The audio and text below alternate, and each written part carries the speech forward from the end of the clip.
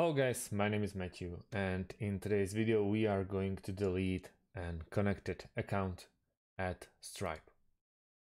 First things first, we have to log in obviously into our Stripe account. Once we are here, we need to really carefully pick an account that uh, we want to get rid of. In my case, it will be this one, AZTest sk.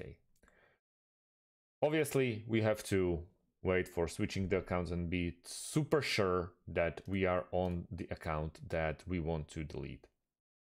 We can actually do it two by two ways. First, uh, as we switch to the account, we will find ourselves this little edit option next to the account. You see, we, I'm not I'm not logged in into this account. I don't have this option in here, the edit one. I have it in the currently used account. So I'm going to click on edit and then account settings. There's account name, there's country, you can't really change it. Uh, verify, verify by phone verification, time zone, and yada yada yada. And obviously there is an option for close account. Once you click on close account, you will find this pop-up window where they are informing you like it's not uh, reversible a reversible action and you really have to pay a close attention to what you are clicking and what you are getting rid of.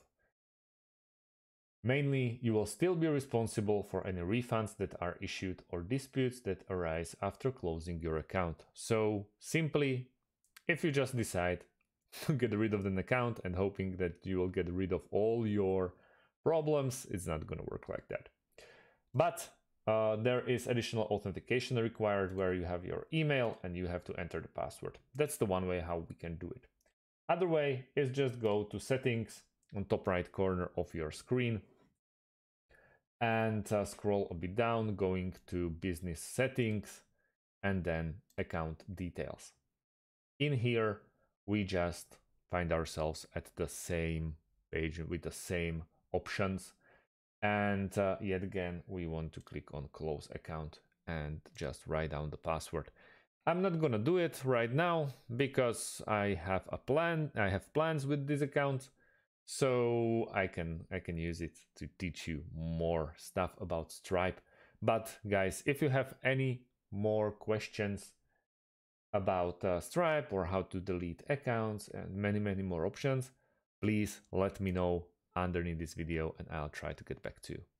Thank you guys for watching and see you in the next one. Have a great day and goodbye.